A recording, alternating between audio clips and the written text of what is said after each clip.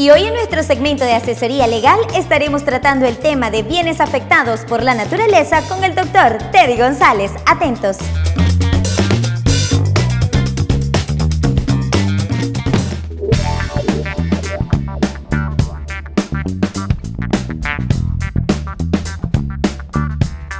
Encontramos con el doctor Teddy González para abordar un tema que realmente puede generar muchísima preocupación y son esos daños que pueden generarse en nuestras viviendas por causa de un fenómeno natural. Bienvenido al programa, doctor. Muchas gracias.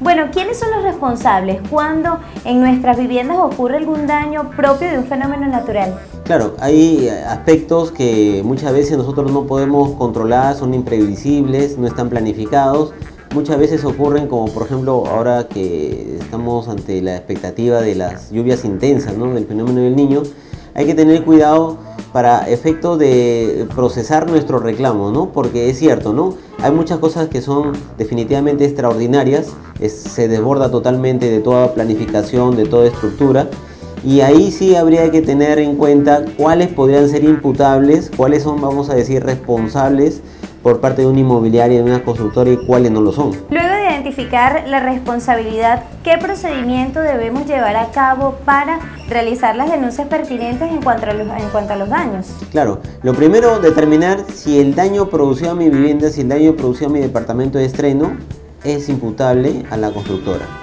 Si por ejemplo yo veo que se me humedece mi, mi sala, si comienza después de una lluvia, no, no intensa, pero regular, se me llena mi, sala, comienzan las goteras, entonces definitivamente no es algo normal, es algo que siendo manejable eh, ha superado la expectativa que yo tenía. Entonces el producto ya no es un producto bueno, sino que el producto eh, expresa o expone, evidencia en todo caso, para utilizar ese vocablo, ciertas deficiencias que deben ser superadas por el constructor.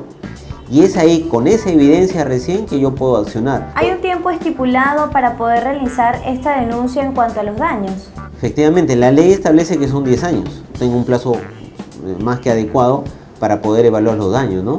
Entonces, pero eh, también hay que tener este, esto eh, que es muy importante, que yo para acudir a un juez, aquí en Piura, en Sullana y en toda parte del Perú, salvo Lima, que primero agotar la vía previa y la vía previa es la de un centro de conciliación, sea público o sea privado. Entonces yo antes de irme a un juez tengo que citar a mi constructora, tengo que citar al constructor, decirle, ¿sabes qué? Yo evidencio unos daños que no son normales. Ha llovido 15 minutos y toda mi casa está llena de agua. Dado este presupuesto yo puedo iniciar una, una conciliación extrajudicial y ahí en dos audiencias poder eh, llegar a un buen término, a un, a un final feliz como se dice, ¿no?